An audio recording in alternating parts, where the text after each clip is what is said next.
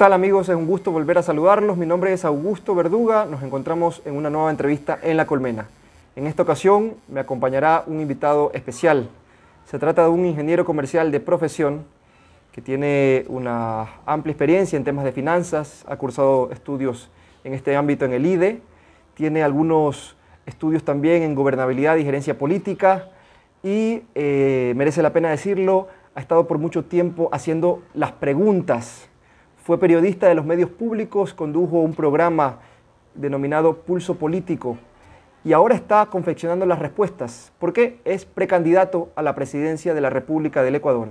Me estoy refiriendo a Carlos Rabascal. Un abrazo, Carlos. Gracias por estar acá. Augusto, un gusto y siempre es rico y placentero hablar con sangre joven como tú.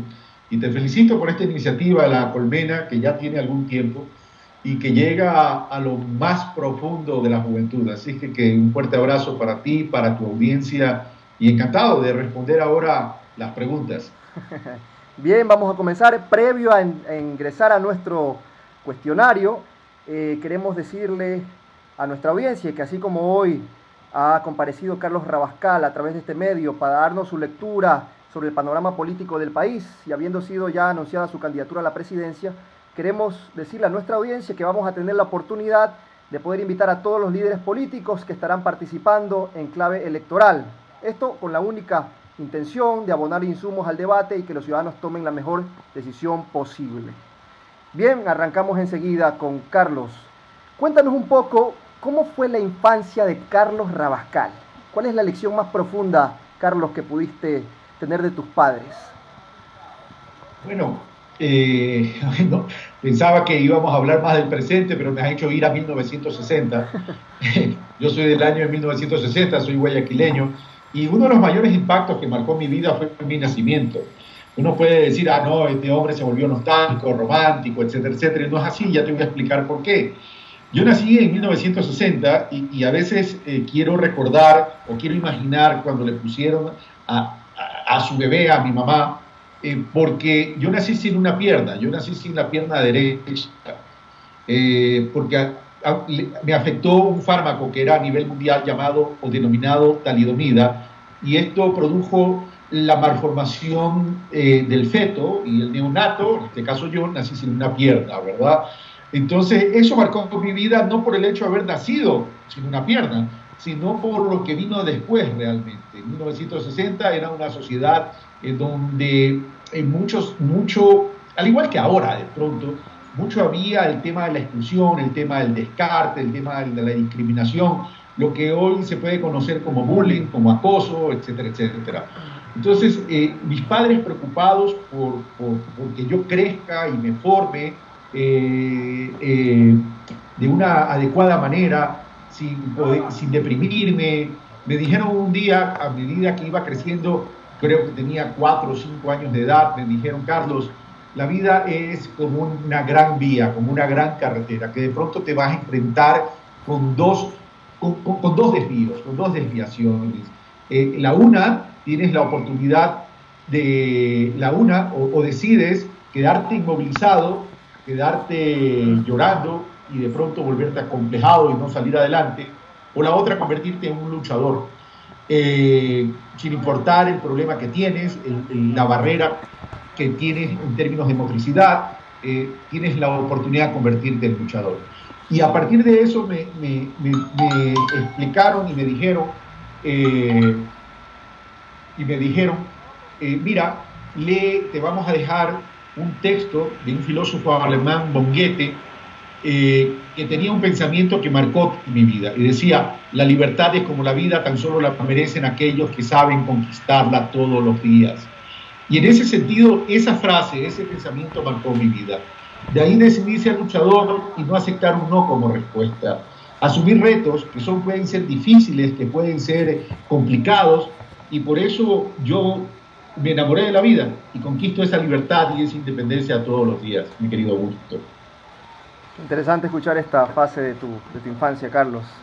Ahora vamos... la conocen, por cierto. Sí, sí, sin duda.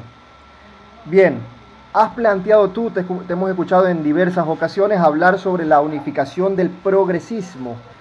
Eh, en esa línea quisiera preguntarte, ¿Qué es el progresismo para, para ti, para Carlos Rabascal? ¿Y por qué no plantearlo en términos de la unificación del socialismo? ¿Cuáles son esas líneas rojas, Carlos, que no se pueden sobrepasar? Mira, más allá de líneas rojas que eventualmente las pueden existir, yo creo que el progresismo dimensiona la realidad y el sentido de la vida. El progresismo, y cuando digo el sentido de la vida me refiero a lo siguiente, me refiero a lo que se debe hacer como Estado y como nación a efectos de mejorar la calidad y el bienestar de vida de todo un pueblo. El progresismo, ¿por qué, Augusto? El progresismo porque tenemos que poner al ser humano, hombre, mujer, niño, niña, joven, hombre, mujer, adulto y adulto mayor, por encima del capital, por encima de todo. Una nación que se precie de querer ir hacia el desarrollo tiene que poner como un fin al hombre y la mujer. Nuestra constitución de la República establece el buen vivir, pero no podemos alcanzar un buen vivir si no primero construimos espacios de un buen convivir y establecemos políticas de Estado y políticas públicas que permitan alcanzar el desarrollo de todos los seres humanos, que en este caso es la nación ecuatoriana. ¿Por qué no quiero caer en, estos espacios ideológicos? Por una sencilla razón esta guerra ideológica que a veces nos lleva a la irracionalidad de la gestión política, de la gestión pública, ya tiene agotada a todo un país o tiene agotado a la mayoría de la gente. Nosotros tenemos que poner al ser humano como fin porque hacia ellos tenemos que llegar. El capital debe ser una herramienta, el capital no puede ser el fin en sí mismo. Si el capital se convierte en un fin en sí mismo, se transforma en capitalismo y el capitalismo no es otra cosa que fábrica de pobreza porque construye grandes concentraciones de riqueza. Y nosotros queremos implementar políticas sociales.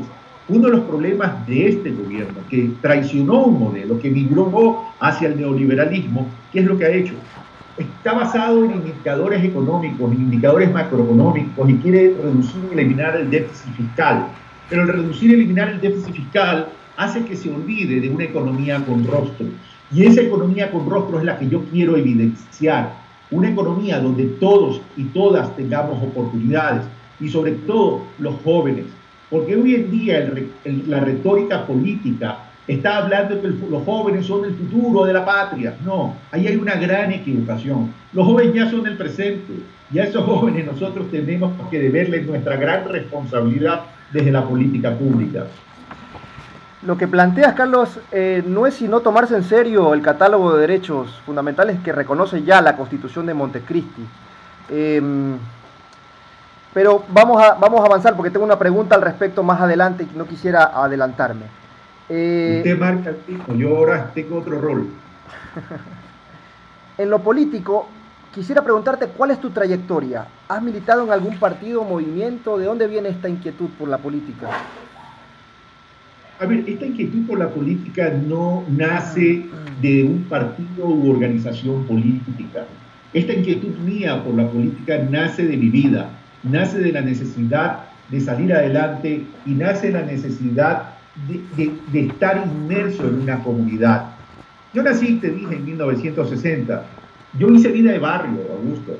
Y esa vida de barrio, que es esa añoranza a lo mejor que podemos tener los, más, los, mayores, ustedes, en esa vida de barrio uno aprendió, uno aprendió a, construir tejido social, uno aprendió a ser solidario, uno aprendió a que nos debemos cuidar los unos a los otros.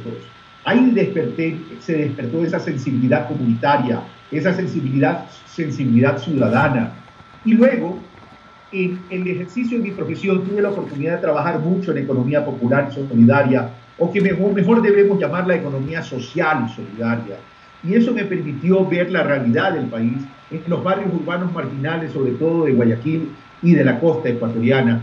Y eso me hace ver que hay que profundizar en la solidaridad, pero no la solidaridad desde el punto de vista de la caridad, sino en la solidaridad de la, de la responsabilidad que tenemos para poder impactar a la sociedad positivamente. Y luego, en los 15 años de ejercicio periodístico, cuando hice muchas preguntas, como lo dijiste en la introducción, y recibí pocas respuestas, pocas respuestas en términos de una visión de desarrollo del país. Y cuando recorro el país, mi querido Augusto, veo el abandono, veo la exclusión, veo el descarte, que tiene el pueblo ecuatoriano, sobre todo en las zonas más vulnerables, en las zonas rurales y en las zonas urbanas marginales de la ciudad.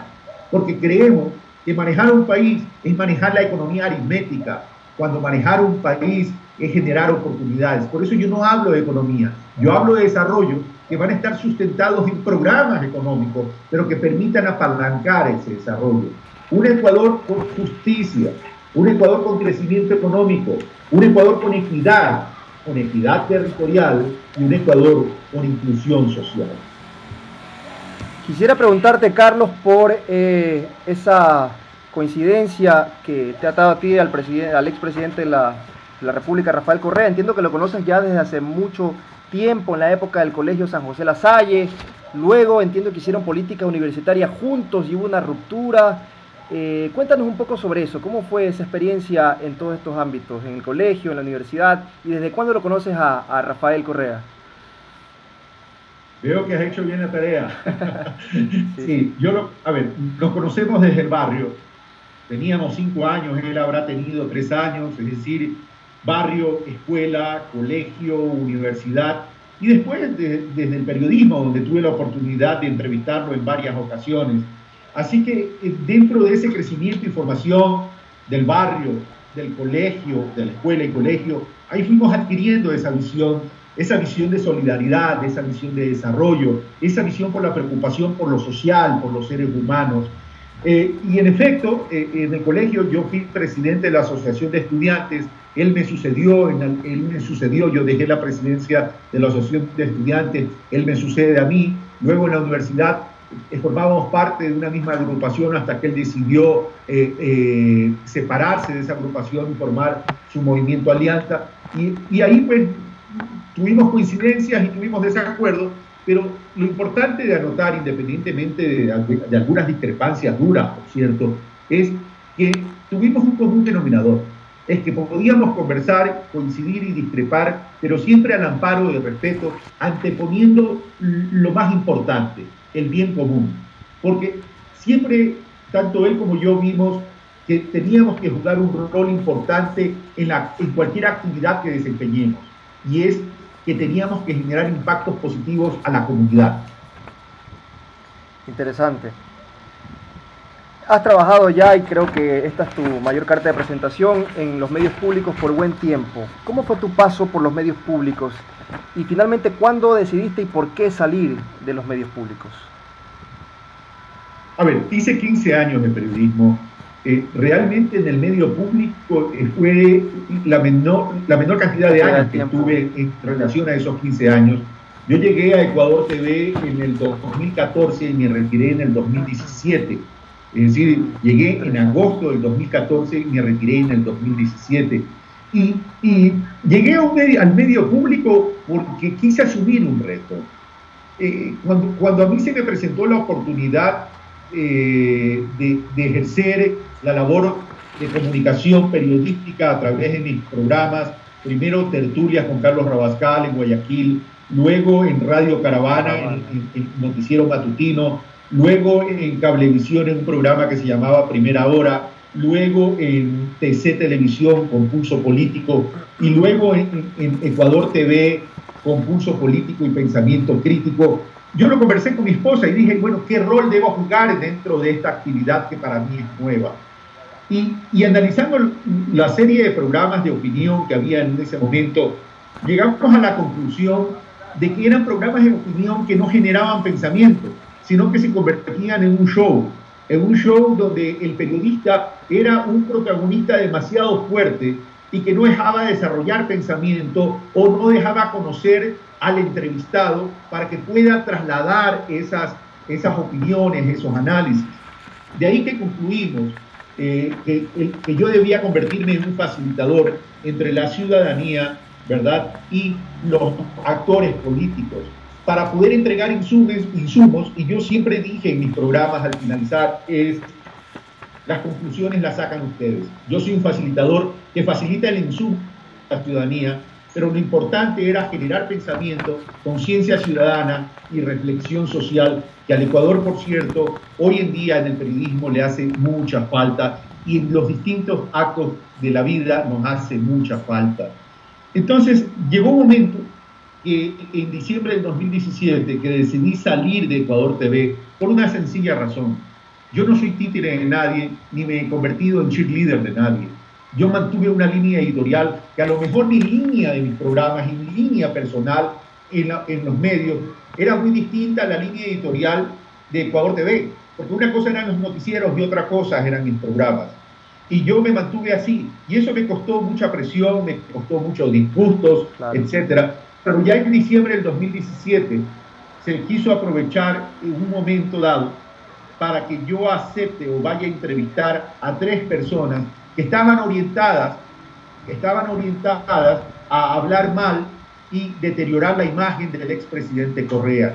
Yo puedo tener muchas discrepancias con alguien, pero yo no me presto para, hacer un periodismo guerrillero para deteriorar la imagen y la dignidad de las personas. Por eso tomé la decisión de irme. Y aquí una aclaración, mi querido Augusto, yo no era empleado del canal, yo era externo. Por eso envié un comunicado diciendo y dando por terminado mi contrato con el canal.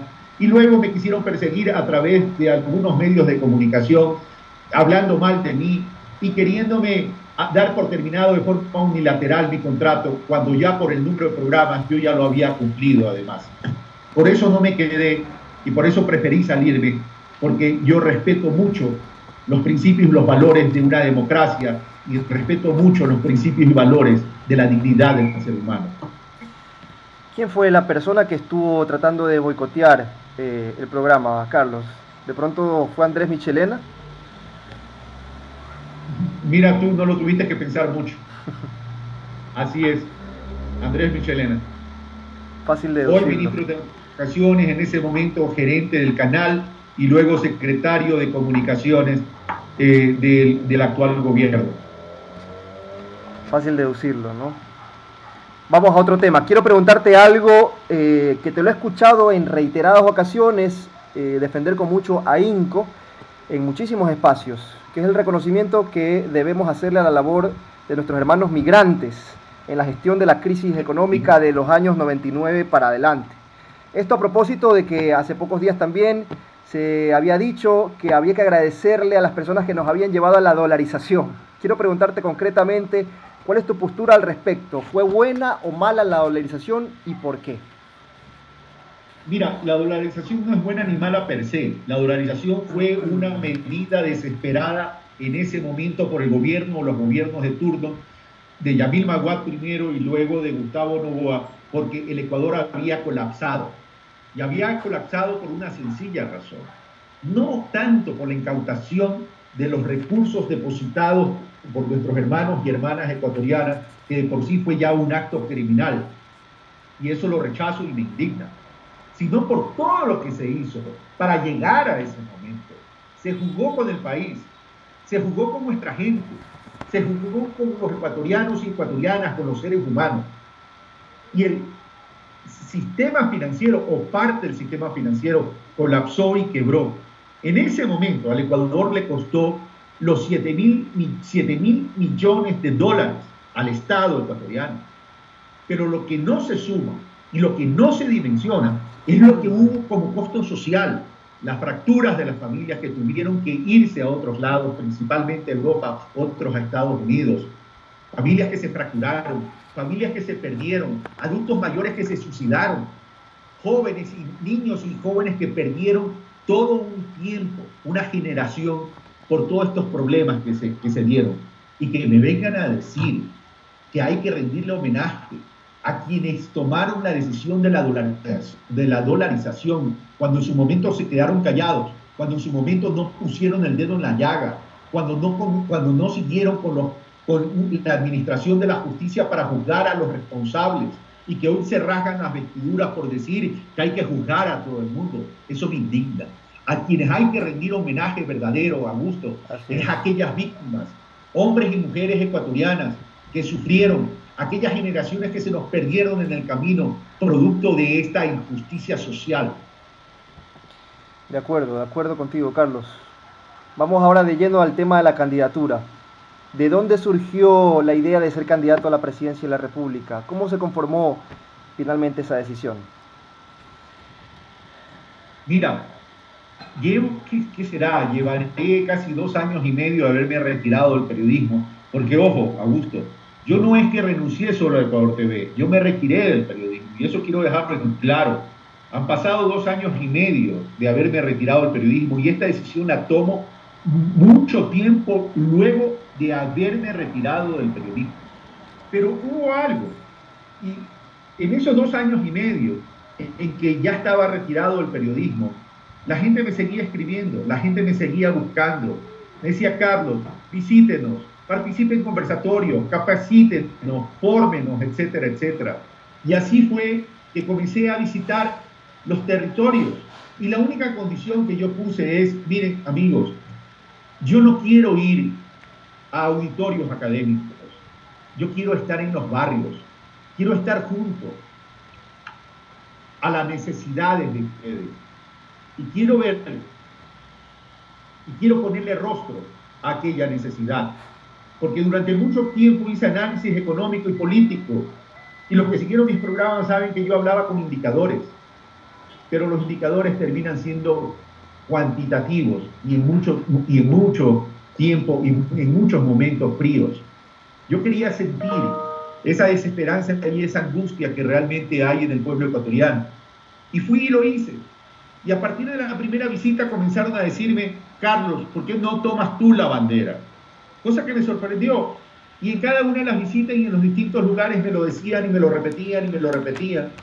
Y, y yo soy una persona que soy muy, que no soy tan emocional, yo prefiero ser muy racional. No digo que no sienta emociones, lo que digo es, prefiero no dejarme llevar por las emociones porque uno puede distorsionar su decisión. Pero esto se fue repitiendo, repitiendo, repitiendo, hasta que llegó un momento que yo mismo me dije, bueno, ¿y por qué me lo dirá todo esto y a cada rato en cada una de las visitas? ¿Será acaso que ellos ven en mí una posibilidad? Entonces, ya en una de las últimas visitas, dice, y me lo repitieron, Carlos, usted debe tomar la bandera. Yo dije, no, esto no es cuestión de tomar la bandera a un solo hombre. Esto es cuestión de que los 16 millones de ecuatorianos y ecuatorianas tomemos la bandera por ahí alguien me dijo, que el liderazgo es de uno. Dije, no, estamos equivocados, así nos vamos a movilizar y transformar al país. Este es un liderazgo de todos, porque todos tenemos esa responsabilidad. Los territorios sobre todo.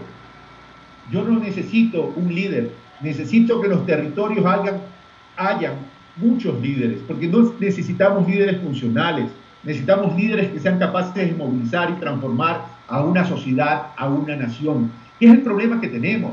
Yo no consigo un proyecto político, por ejemplo, Augusto, que cuando se va el principal líder, el proyecto político se quede cruzado de brazos esperando la bendición o lo que diga ese líder. No, eso significa que entonces que no se hizo la tarea. Yo quiero despertar a la sociedad, quiero despertar al Ecuador.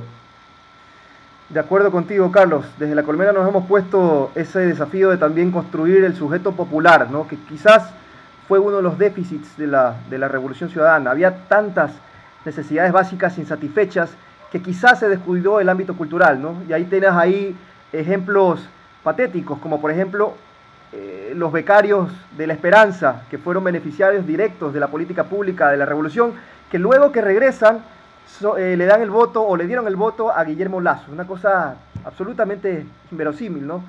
Trabajar en el, en el ámbito cultural. ¿Crees que fue un déficit la revolución cultural? definitivamente que fue un déficit de la, revolución cultural, porque la cultura tiene que ver con identidad. O sea, la cultura tiene que ver con nuestra base de identidad. Y eso es fundamental, porque la identidad forja el carácter y la personalidad de una nación. Y eso no se hizo.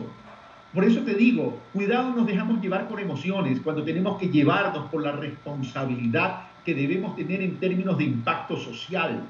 Y allá tenemos que apuntar allá tenemos que. Nosotros eh, dejamos de lado en un momento dado, y cuando hablo de nosotros hablo de sociedad, y los medios también son responsables, que no construimos sujetos políticos ciudadanos. El sujeto político ciudadano es tremendamente importante, porque primero se va a empoderar de la patria, del país, y se va a empoderar de la ciudadanía. ¿Qué va a ser un sujeto político ciudadano? Va a construir una verdadera democracia participativa, pues Augusto. Y esos sujetos políticos ciudadanos hoy tenemos que construirlo a partir de la juventud. Por eso yo quiero invitar y llamar a los jóvenes a que se sumen a este proyecto de unificar el progresismo para construir una verdadera democracia participativa. Los jóvenes hoy, hoy, hoy, en este presente, deben ser los destinatarios de la gestión responsable para un Ecuador justo, un Ecuador con ese crecimiento económico, con equidad y con inclusión social. Tenemos que salir de la retórica de los jóvenes, que los jóvenes son el futuro, que son el mañana, cuando ya son el presente. Ustedes ya son los protagonistas del Ecuador. Y los invito a que se sumen a esta movilización de transformación para llevar a cabo el verdadero cambio del Ecuador. ¿Por qué crees, Carlos, que en la línea de lo que dices, eh, los jóvenes están cada vez menos interesados en la política? ¿Será entonces un problema de desafección o falta de representación, sencillamente? ¿Qué opinas? Yo creo que es una combinación. Yo creo que es una combinación de ambas. Yo creo que es una frustración por un momento dado, por, un momento, por, un, por un lado, y por otro lado es que los adultos y los políticos y la clase política no han sabido interpretar a los jóvenes. la clase política ve votos, no ve caras, no ve necesidades, no ve angustias, no visualiza al Ecuador en un horizonte de tiempo. Porque la clase política lo que le interesa es el poder. A mí me interesa el poder como herramienta de servicio, porque como decía el Papa, como dice el Papa Francisco, poder es servir, poder es servir. Y, y por eso es que han estado tan abandonados y tan excluidos dentro de esa visión del descarte que tiene la política ecuatoriana y lamentablemente la política latinoamericana, donde también tenemos que luchar por la integración regional, a UNASUR hay que rescatarlo, por cierto, tenemos que luchar para que los jóvenes se incorporen. Pero para que los jóvenes se incorporen, ¿qué tenemos que hacer? Tenemos que conocernos, con Augusto, tenemos que hablar con los jóvenes, tenemos que escuchar a los jóvenes, tenemos que saber cuáles son sus principales inquietudes y necesidades desde ese, punto de vista, a los jóvenes hay que despertarlos como hay que despertar a todo el país. Cuando recorro el país, yo veo una especie de depresión socioeconómica del país. Y cuando hablo con los jóvenes, hablo con jóvenes que sí están despiertos, pero hay con otros jóvenes que no, que prefieren mirar a otro lado. Y cuidado generalizamos. Hay jóvenes de lo urbano que tienen unas inquietudes y el joven de lo rural que tiene otras inquietudes.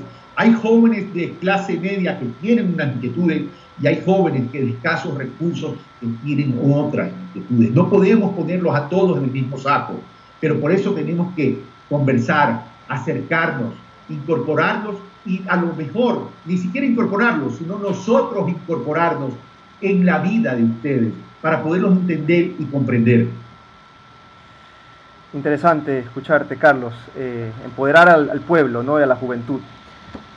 Sin duda que esa es una tarea pendiente, pero hay que partir también de otro hecho fundamental, que es que para llegar a conseguir todos esos presupuestos, finalmente hay que llegar al poder, ¿no? la bendita democracia liberal. En ese sentido, quisiera eh, recordarte que la ley electoral obliga a tener una plataforma política, tú lo sabes bien, no hay por qué recordártelo. Hay una, estructura que se necesita un vehículo para poder llegar finalmente a esa faz arquitectónica de la política que es eh, eh, el poder. ¿Tú has entrado en conversaciones con la Revolución Ciudadana o alguien del movimiento indígena? Porque en esta gran coalición del progresismo, naturalmente no se puede, sería ingenuo hacerlo así, prescindir del correísmo o del movimiento indígena. ¿Has entrado en algún tipo de conversaciones con estas dos eh, flancos de la izquierda? Antes de responderte la pregunta, que te lo voy a responder de forma concreta, por cierto, porque eso yo esperaba de mis entrevistados cuando tenía pulso político y cuando tenía pensamiento crítico como programa. Déjame decirte algo. Evidentemente necesito el vehículo político. Evidentemente, de acuerdo al Código de la Democracia, se requiere lo que algunos dicen el número, la organización política, para poder inscribir la candidatura. Y está bien, pero yo quiero llegar a acuerdos con base en programas, con base a una visión de desarrollo. Yo no quiero llegar a acuerdos con aquellos que forman la línea progresista tan solo para ganar una elección, porque sería un irresponsable. Porque casualmente si queremos llegar a una alianza y he planteado la unificación del progresismo, es por, por un objetivo, es por la recuperación del país, pero no por el poder, sino por lo que podemos hacer desde el poder, para generar ese cambio y esa transformación que el Ecuador requiere, retomar el rumbo, sustentado en esas políticas sociales fuertes, por ejemplo, en aquellos principios que nos enseñó y nos compartió un gran político colombiano como Antana Mocus, construir sobre lo construido. Y yo le agregué a eso, le estoy agregando, además de construir sobre lo construido, corregir aquello que se hizo débil y hacer lo que no se ha hecho, porque el Ecuador es un proceso. Al Ecuador, digo, hay que verlo en esa visualización, eh, eh, visualizarlo en ese horizonte de tiempo, porque es obvio y, y es obvio y de sentido común que no se van a poder resolver los problemas estructurales de la patria tan solo en cuatro años o en ocho años el Ecuador es una construcción permanente y continua. Si llegamos a esa base programática, definitivamente van a haber acuerdos. Sí, he comenzado, inicié las conversaciones con Rafael. Tenemos todavía mucho que conversar en relación a esto para ver la posibilidad de llegar a un acuerdo con la revolución ciudadana, con los pueblos y nacionalidades indígenas, por supuesto.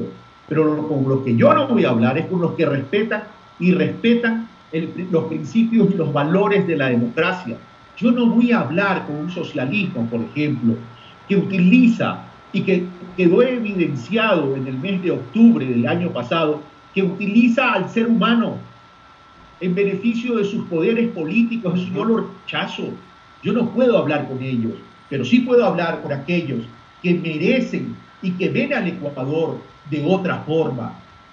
se inició un proyecto de Ecuador distinto en el gobierno de Rafael. Eso es verdad, nadie lo puede discutir.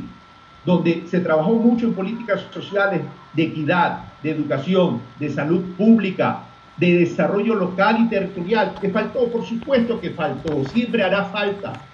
Entonces hay más coincidencias que desavenencias y discrepancias, porque en las coincidencias las vamos a fortalecer, en las discrepancias las vamos a corregir y podemos llegar a mínimos que por mínimos no es que no sean importantes, más bien todo lo contrario, son trascendentales.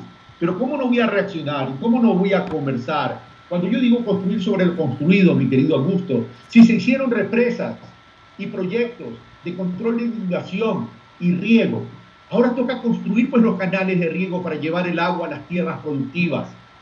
Eso es construir sobre lo construido, no abandonarlo cómo se abandona, por ejemplo, una escuela del, siglo XXI en, en, la parroquia rural de Chone Convento, donde hay una escuela pública completamente deteriorada, pero sin embargo no se utiliza esta escuela del siglo XXI, que en vez de tener niños y niñas en la escuela y profesores en la escuela, las tenemos encadenadas con el monte creciendo para ocultar la escuela. Yo no puedo permitir, a Augusto y queridos amigos y amigas, que el odio político convierta en víctimas a nuestros niños y niñas. Ante eso me revelo y por eso quiero que unificar el progresismo para retomar el rumbo. Interesante eh, que lo hayas planteado en esos términos, eh, citando a Tanas Mocus, eh, construir sobre lo construido. El proceso de Antanas Mocus en la alcaldía de Bogotá fue muy, muy interesante, ¿no? Este método lúdico y juguetón que tenía para conectar precisamente con, la juventud. Y has dicho una serie de cosas importantes, entre ellas que se deben mejorar o corregir eh, cuestiones de la revolución ciudadana. Yo quisiera preguntarte eh, concretamente qué son las cosas que tú corregirías de la revolución ciudadana en esos 10 años. Y la segunda pregunta sería en esa línea, ¿qué lecciones podemos sacar de octubre del 2019? Vamos a lo primero, Augusto. Una de las cosas que yo corregiría en términos de potencializar y complementar es el tema de la regionalización, por ejemplo. El tema de la regionalización. La Constitución de la República, nuestra Carta Magna, la que se hizo en Montecristi y la que se aprobó mayoritariamente por nuestros hermanos y hermanas ecuatorianas, ya establece la regionalización. Pero no hubo la decisión política para hacerlo, para implementarlo. No hubo la fuerza política para llevarlo a cabo. Eso hay que decirlo y no tiene por qué resentirse alguien. Simplemente hay que complementarlo, simplemente hay que hacerlo. No podemos seguir en la actual estructura política del país, donde las regiones están olvidadas, donde tenemos que más bien que pensar que el desarrollo del país es la suma del desarrollo de los territorios. Por ejemplo, si logramos tener regionalización potente, fuerte, con autonomía administrativa o con autonomía financiera, eh, que sea capaz, autonomía de planificación con democracia participativa ciudadana, ¿verdad? Estamos acercando qué? La democracia al soberano, al verdadero, a la verdadera razón y esencia de ella, que es el ciudadano y ciudadana. Imagínate, por ejemplo, te invito a soñar por un, por un momento, por un breve tiempo, mi querido Augusto y queridos amigas y amigos, una región, Santa Elena, Manabí, Esmeralda, sería una región potente, un nuevo polo de desarrollo, donde habría agricultura, donde habría ganadería, donde habría turismo, donde se puede crear un gran centro de producción y un gran centro de emprendimiento para nuestros jóvenes. Eso es lo que tenemos que hacer. Eso en términos, para ponerte un solo ejemplo como regionalización. Otras cosas que yo corregiría o que complementaría es la economía popular y solidaria. Una economía popular y solidaria eh, potente, fuerte, inclusiva, pero al amparo de principios de asociatividad, rescatando la, el cooperativismo y fortaleciéndolo para que realmente funcione, para construir comunidades productivas en las distintas zonas, a partir de esa asociatividad entre ciudadanos y ciudadanas.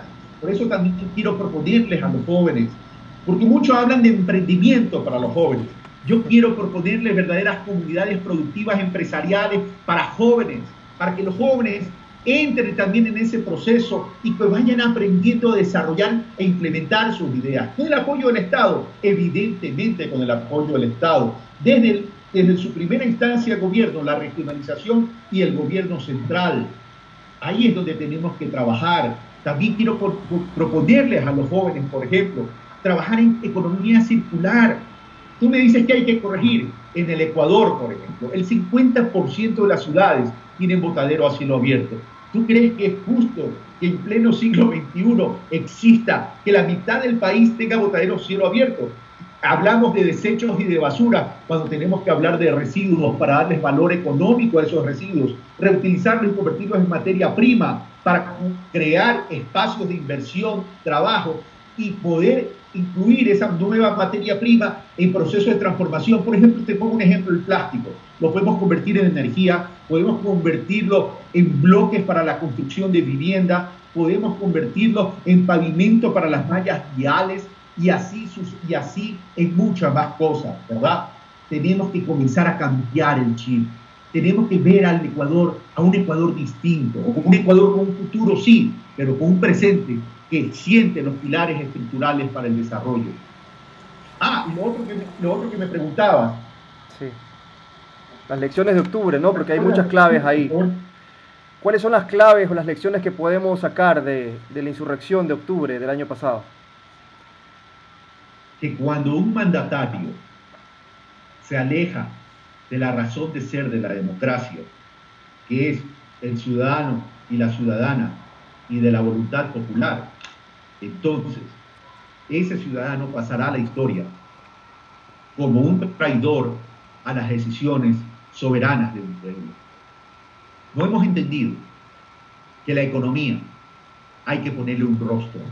Y ese rostro es el del hombre y de la mujer ecuatoriana, pero también es la esperanza del niño, de la niña y del joven. Cuando se quiebra eso, se quiebra la confianza. Cuando se quiebra eso, se quiebra la credibilidad. Por eso que este gobierno tiene una credibilidad del 4% y una aceptación apenas del 14%. Bien, en esa línea de construir sobre lo construido, Carlos, eh, hay una agenda que ha sido descartada muchas veces, a veces prácticamente invisibilizada o estigmatizada, diríamos, en el debate público. Eh, me estoy refiriendo al feminismo. Quisiera preguntarte si Carlos Rabascal sintoniza con los postulados del feminismo. ¿En qué feminismo cree Carlos Rabascal? Primero, creo en la equidad, porque no puede ser que haya mujeres que en igualdad de condiciones con el hombre no sean respetados en sus derechos laborales y que el salario sea inferior. En eso no creo. No creo y no voy a ser tolerante con la violencia de género y específicamente, ya que tú me, preguntas del feminismo, la violencia contra la mujer. No creo en aquello. No voy a ser tolerante y voy a trabajar en la construcción de nuevas masculinidades para que no se violenten los derechos de la mujer, para que a la mujer no la veamos como objeto, la veamos como sujeto, la veamos como un ser humano. Quiero trabajar también por la inclusión social y laboral de la mujer. Tú sabes, mi querido Augusto, que hay estudios del Banco Mundial en que señalan que los emprendimientos de las jefas de hogar tienen un alto grado de deserción y tiene un alto grado de deserción por la violencia intrafamiliar que existe. Yo sentía una gran frustración cuando en mis programas de pulso político trataba el tema de la violencia contra la mujer y la violencia intrafamiliar. ¿Sabes por qué sentía esa, por qué tenía esa frustración? Porque eran los programas de menos rating, eran los programas que menos se veían. Y claro, ¿cómo van a tener alto rating si las mujeres que estaban en, la, estaban en las mismas camas, las víctimas estaban en las mismas camas de aquel por aquel que las violentaba? Eso quiero cambiar, Augusto. Tenemos que trabajar para los derechos de las mujeres, que sean respetados porque son derechos universales, pero más allá de derechos universales, son derechos humanitarios, como también los hombres tenemos derechos humanitarios. No podemos abandonarlos. Bien, hablemos eh, sobre las relaciones internacionales, Carlos. Si tú fueras finalmente elegido como presidente del Ecuador, ¿cuál sería la relación de tu gobierno con el Fondo Monetario Internacional, por ejemplo, y con los Estados Unidos? Les diría goodbye. goodbye al FMI. Yo no puedo aceptar a alguien que me diga que a pretexto que te voy a pedir, que voy a entregar créditos, le saque la madre a nuestros hermanos y hermanas ecuatorianas. Yo no pongo a mi país ni a nadie de rodillas. Yo nací sin una pierna, pero supe ponerme de pie, permanezco en pie y caminaré con la cabeza erguida y viéndole a los ojos a mi gente. Señores, si ustedes quieren ser parte de nuestro proyecto de desarrollo, sin esas condiciones, sin esas condiciones, porque el Ecuador es un país soberano, pero además de soberano, un país digno. Carlos, en, este, en esta línea del ámbito regional, hablabas hace poco de volver a UNASUR. ¿Es posible volver a UNASUR? ¿De qué depende que podamos finalmente reorientar ese sueño de la gran patria grande de Bolívar? ¿Cuál es tu postura respecto también a lo que sucede en la República Bolivariana de Venezuela? A ver, vamos por partes, Augusto. Hablemos de la integración regional. El deterioro de la integración regional, y en esto tenemos que ser tremendamente autocríticos también, no solo tiene responsabilidad el Ecuador por haberse querido salir de una forma irresponsable de este concepto de integración regional potente, sino también que los otros países que incluso coincidían con la UNASUR durante los 10 años anteriores, la dejaron abandonada, la dejaron abandonada, no le entregaron los recursos, no participaron por los celos por los celos entre los cancilleres, por los celos entre los cancilleres, en una visión de desarrollo de la región. Hay que ser claros con eso. Yo quiero una integración que no se me quede en una visión ideológica, porque evidentemente, si estamos hablando de integración regional, vamos a tener un tejido regional distinto, no va a ser igual, van a haber gobiernos de derecha y gobiernos de izquierda, gobiernos progresistas, por tanto no nos podemos quedar en eso. Tenemos que lograr una verdadera una integración regional, una verdadera integración regional desde la óptica del desarrollo, desde la ciudadanía sudamericana o latinoamericana, mejor dicho. Allá tenemos que apuntar desde el desarrollo productivo, no del comercio, sino de la producción para generar una gran economía de escala entre todos nosotros y ser una gran potencia exportadora y que podamos solucionar los problemas de la demanda interna del Ecuador, de, los países, respetando y reconociendo las asimetrías, no doblegando a aquellos que no tienen la misma fortaleza como Brasil y Argentina u otros países.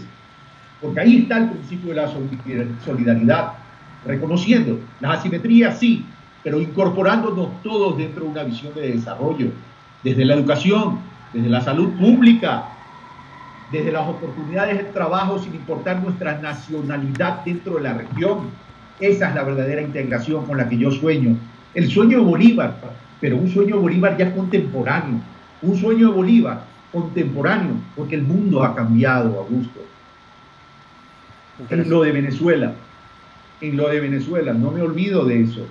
A ver, primero, soy partidario que se respete las democracias internas y que sean sus propios, los propios países y los ciudadanos y las ciudadanas de los propios países los que tomen la decisión de corregir. El principal corrector de cualquier democracia, Augusto, es la, la ciudadanía. Pero también debo decir, también debo decir que la permanencia indefinida en el poder de un solo hombre le termina haciendo daño, no solo a un proyecto político, a un proyecto de desarrollo y a su propia gente. En ese sentido, ¿crees que la figura, esta institución de la reelección indefinida, eh, es buena o mala para nosotros? Eh, ¿No estás de acuerdo con la reelección indefinida? No estoy de acuerdo con la reelección indefinida, Augusto. Estoy de acuerdo. Y jamás podré estar de acuerdo. Yo si gano la, la, presidencia de la República, que creo que la vamos a ganar, estoy convencido que la vamos a ganar porque vamos a contagiar a nuestros hermanos y hermanas de ese sueño, de ese proyecto. Yo no me voy a quedar indefinidamente. Yo estaré cuatro años y a lo mucho la posibilidad de una reelección como lo establece nuestra constitución de la República. No lo digo ahora, lo dije siempre, desde que se comenzó a debatir. El propio Bolívar lo dijo y el propio Rafael lo dijo en su momento también. Bien, antes de que se me pase por alto esta pregunta, eh, estábamos ya casi cerrando. Quiero saber cuál es tu postura respecto a estas demandas del ecologismo. ¿Es una demanda pendiente también de la nueva izquierda o de la izquierda ecuatoriana el ecologismo? ¿Cómo miraste tú el tema de la iniciativa Yasuní TT en su momento y luego el abandono de la iniciativa porque se establecía que la comunidad internacional no había estado a la altura de esa propuesta emancipadora en términos de defensa de la Pachamama? ¿Fue un desacierto o un acierto de la Revolución Ciudadana abandonar la, la iniciativa Yasuní ITT?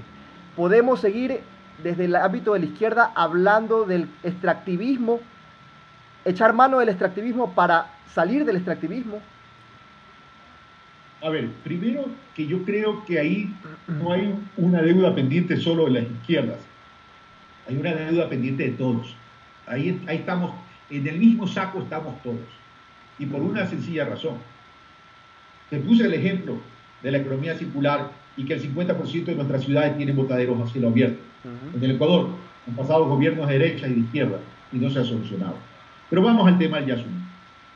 Era un proyecto emblemático, no del Ecuador, del mundo entero. Del mundo entero. Defender el medio ambiente, el ecosistema, es una responsabilidad de todos.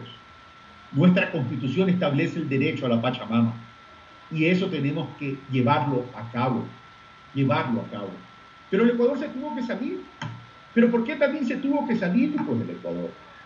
Porque no puede seguir esperando que se decida todo el mundo para apoyar un proyecto cuando aquí tenemos brechas socioeconómicas tremendamente grandes. No alcanzamos, el Ecuador no alcanzó la meta y por tanto se vio obligado a salir. Ojalá en algún momento el mundo entero, donde los grandes líderes del mundo hablan del ecosistema, el respeto al medio ambiente, etcétera, etcétera, etcétera, pero no son capaces, pues, mi querido Augusto, ni siquiera de suscribir el protocolo de Kioto. Claro. No fueron capaces. Como Estados Unidos. ¿no? ¿Cómo alcanzaron, cómo alcanzaron el crecimiento? Yo, ojo, que yo de los países supuestamente llamados desarrollados, yo no lo hablo que son países desarrollados yo hablo que son países más fuertes económicamente. Pero no me vengan a decir que ellos alcanzaron ese crecimiento económico destruyendo el planeta y ahora nos piden a nosotros que no crezcamos. Claro que tenemos que crecer, pero respetando el cuidado del medio ambiente, respetando el ecosistema y el extractivismo que me pregunta.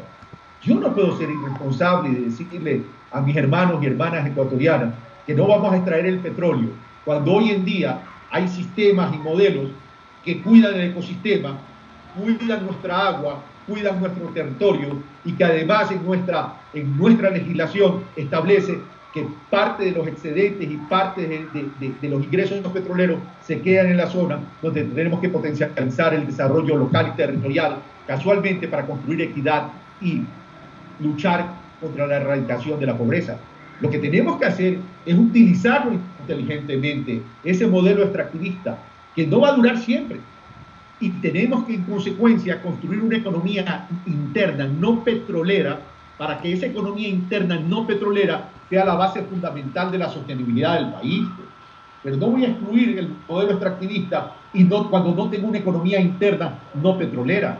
Tenemos que armonizar las dos cosas para alcanzar ese crecimiento de 5% sostenido en relación a la economía, al Producto Interno Bruto, para poder erradicar la pobreza. Yo no soy, yo no quiero, yo quiero hacer, cuando acepté esto, dije Augusto, quiero construir una, una pedagogía de una nueva forma de hacer política. Yo no vengo a hablar, vengo a hacer, pero también vengo a concientizar. Por eso quiero generar un pensamiento crítico, conciencia ciudadana y reflexión social. Bien, vamos ya terminando esta entrevista, hemos llegado a la última parte de ella. En este punto, Carlos, yo te voy a mencionar una palabra y te pediría que tú en esta rueda de reconocimiento me la definas en una frase puntual. Me vas a tomar la lección. Más claro. Vamos a ver. Migrantes. Víctimas, hermanos y hermanas. Guayaquil. Mi ciudad amada, a la cual hay que rescatarla, porque tenemos que pensar el desarrollo desde la vida de un ser humano. Eloy Alfaro. Ah, líder, transformador y movilizador. Manuela Sáenz. Ejemplo y testimonio de la dignidad de una mujer. Leonidas Proaño. Un hombre entregado a Dios y que entendió, entendió la esencia de la doctrina de Jesús, el amor, la solidaridad, el compañerismo y el renunciamiento. Petróleo. Un recurso que la creación y la naturaleza nos ha regalado y el cual nos ha vuelto esclavos de nuestras propias incompetencias. Donald Trump. Presidente de una nación que merece algo mejor. Alberto Fernández. La esperanza latinoamericana. Papa Francisco. Un sacerdote, un obispo, un arzobispo, un hombre entregado a Dios que le enseñó a la Argentina y al mundo entero que hay que armar ruido y lío para alcanzar la verdadera equidad y justicia social. Finalmente, Palacio de Carondelet. Una construcción muy bonita, pero que no tendrá sentido si no le ponemos el rostro al país. Bien, ahí lo tenían a Carlos Rabascal. Te agradecemos por este espacio, Carlos. Adelante con, con tu lucha. Te mandamos un fuerte abrazo a la distancia y esperamos verte en una oportunidad no tan lejana en este nuestro segmento de entrevistas. Muchísimas gracias. Ojalá que, gracias a ti y a ustedes, y ojalá que pueda ser presencialmente. Y solamente un mensaje para los jóvenes ecuatorianos, para todos realmente, pero primero comienzo por los jóvenes. Tienen que convertirse en el alma y la pasión de la nación ecuatoriana para que ustedes sean los verdaderos protagonistas del cambio. Conviértanse en agente de cambio. Ayúdenme a sumar en este proyecto político y quiero que sean gran parte en caso de ganar las elecciones de mi gabinete, de mi gabinete ministerial. Ayúdenme a cambiar este país. Yo no lo puedo hacer solo, lo tenemos que hacer juntos. Y por cierto, me olvidaba aquellos jóvenes, no me, eh, se me estaba olvidando de aquellos jóvenes vulnerables. Voy a establecer becas. Voy a establecer becas para los jóvenes entre los 18 y 25 años que no están estudiando y no están, y no están trabajando y voy a incentivar a las pequeñas, medianas y grandes empresas para que esas becas sirvan, para que estos jóvenes, hombres y mujeres, puedan hacer pasantía en la empresa para poder despertarles el espíritu del desarrollo, para que puedan llevar a cabo la transformación a través de esas comunidades productivas empresariales, los jóvenes. Becas durante 12 meses para que se pierdan, para concluirlos y para que nos ayuden a cambiar el país. Y luego de 12 meses, incluirlos en este programa de estudios técnicos, con institutos técnicos ubicados en los sectores estratégicos del país, para que se sigan formando y capacitando y puedan llevar a cabo sus sueños. Te tomaremos la palabra, Carlos. Muchísimas gracias. Y si les incumplo, como decía Alberto Fernández hace poco, tendrán la oportunidad que mirándome a los ojos me alarán las orejas y me reclamarán por aquello que se dijo y no se cumplió. Un fuerte abrazo, amigo. Pasa muy bien. Un fuerte abrazo y que viva la patria. Que viva.